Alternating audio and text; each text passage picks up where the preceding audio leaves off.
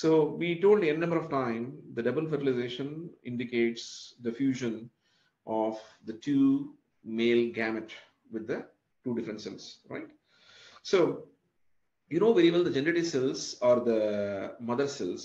Generative cell is a mother cell for making the two male gamete.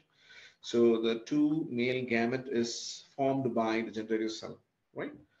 So uh, here, if you're talking about the double fertilization, instead of saying the word, instead of saying the word fertilization, what else I can use? What else I can use? I can use, uh, instead of saying the word fertilization, I can say uh, syngamy. What is this? Syngamy. Either you say syngamy or fertilization, both are same. Okay, in US, UK, English, instead of yes, they are using the word Z. Okay, this double fertilization denotes one male gamete after fusion egg makes zygote. What happens to the other uh, other male gamete, which is fusing with the secondary polar nucleus to make uh, the endosperm, which is going to nourish the zygote uh, for making uh, the embryo. So this zygote is 2n. This zygote is 2n. This endosperm is 3n. This endosperm is 3n. This endosperm is 3n, right? so you should be very careful with uh, just uh, I given the small uh, intro here. Uh, we'll go in detail. Uh, in this place, in the double fertilization process, um, we know very well the pollen tube is uh, making the male gamete to get entry into the male gamete to get entry into where into the ovary, right? Into the ovary, right? So these are things we already discussed with you.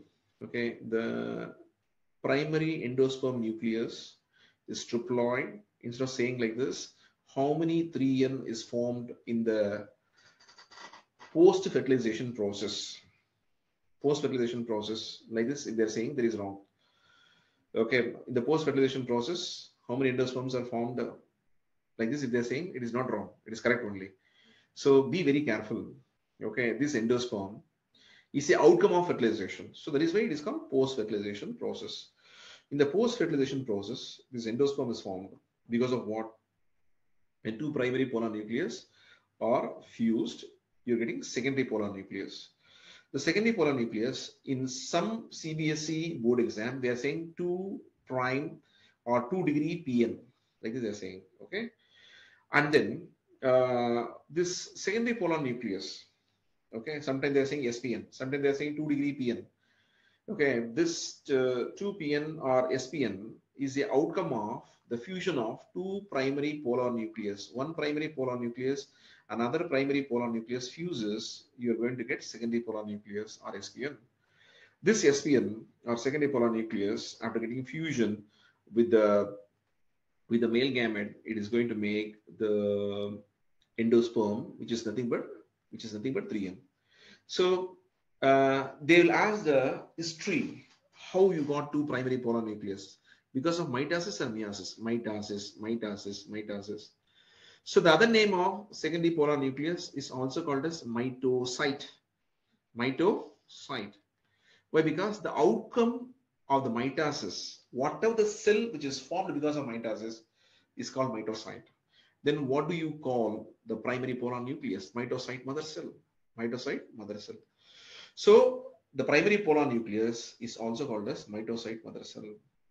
The secondary polar nucleus, secondary polar nucleus, secondary polar nucleus is not called as mitocyte. So listen very, very carefully. Okay, the mitocyte, the word I can say only, only for primary polar nucleus, primary polar nucleus. So one primary polar nucleus makes two primary polar nucleus, two primary polar nucleus. So the primary polar nucleus, the word is called mitocyte. Secondary polar nucleus is not called as mitocyte. Secondary polar nucleus is not called mitocyte. Only primary polar nucleus is called as mitocyte. Why? Because primary polar nucleus is an outcome of mitosis. Is outcome of mitosis. Who is outcome of mitosis? Primary polar nucleus is the outcome of mitosis. So how I got how I got endosperm because of secondary polar nucleus under uh, the male gamete. How I got secondary polar nucleus? primary polar nucleus. So primary polar nucleus, how I got because of mitosis process, because of mitosis process. So secondary polar nucleus, how we got because of simple fusion, because of simple fusion. This fusion is not the part of double fertilization. This fusion is not the part of double fertilization.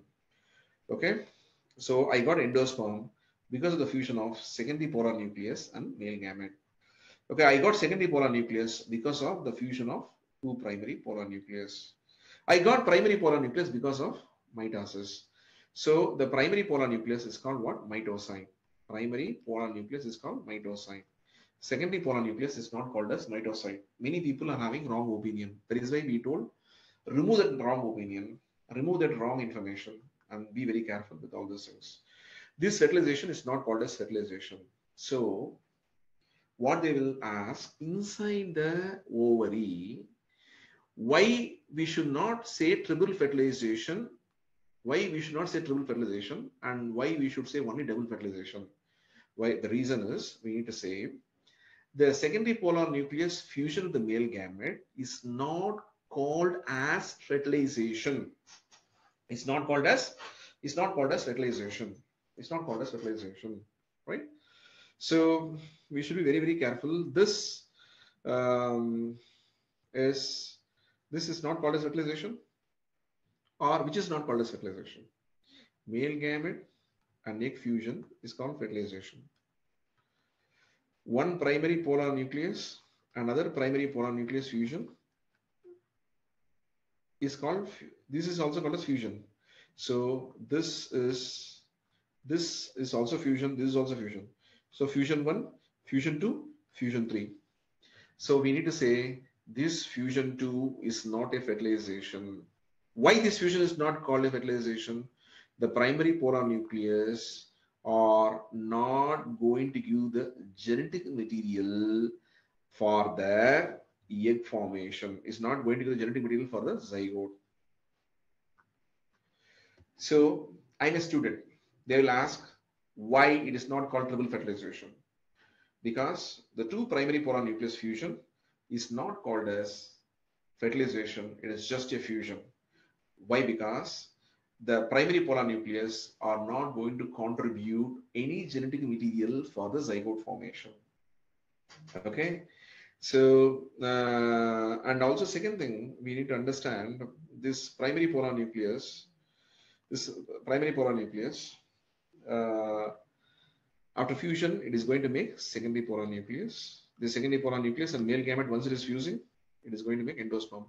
Endosperm nourishes zygote to become embryo. If I need embryo, I need zygote. Okay. Uh, if the zygote need to become embryo, I need I need endosperm. I need endo. Why I need endosperm? Okay, endosperm is solid or liquid? Solid, liquid. What you're confusing, man? Solid, the word I can use for mango.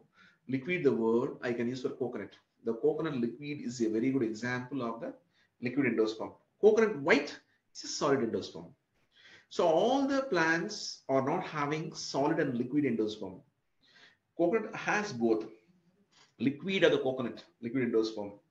Okay, the uh, the white kernel, the white kernel. Okay, we to always used to say white kernel or the coconut is called uh, the solid endosperm, right? So uh, like this, many narrations, many hidden points we need to bring for each and every sentence, right? Double fertilization uh, is a process uh, where um, we are considering only the two different type of fusion in the embryo sac, right? So that which we need to avoid, I already told you. Primary polar nucleus fusion is not called as fertilization. It's not called as fertilization, right? The endosperm is a nourishing structure which makes the zygote to become embryo. So the zygote is becoming embryo because of which particular structure? Because of the endosperm. Endosperm is a nourishing structure. Okay. For what? Zygote is becoming embryo. So the 2n zygote, we know very well, zygote is a developing embryo. This developing embryo or zygote is going to become embryo because of the nourishment given by the endosperm. endosperm structure is present in all the angiosperm. Okay. Now, if you're talking about the endosperm is represented as 3N, I already told to you.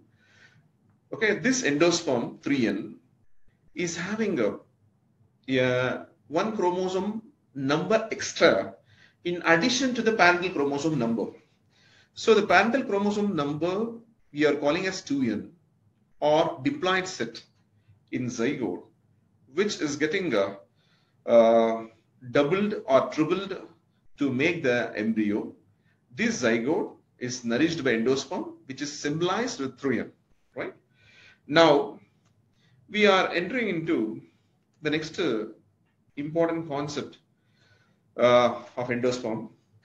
In this endosperm structure, how it is getting involved in the post-fertilization process that we are going to discuss.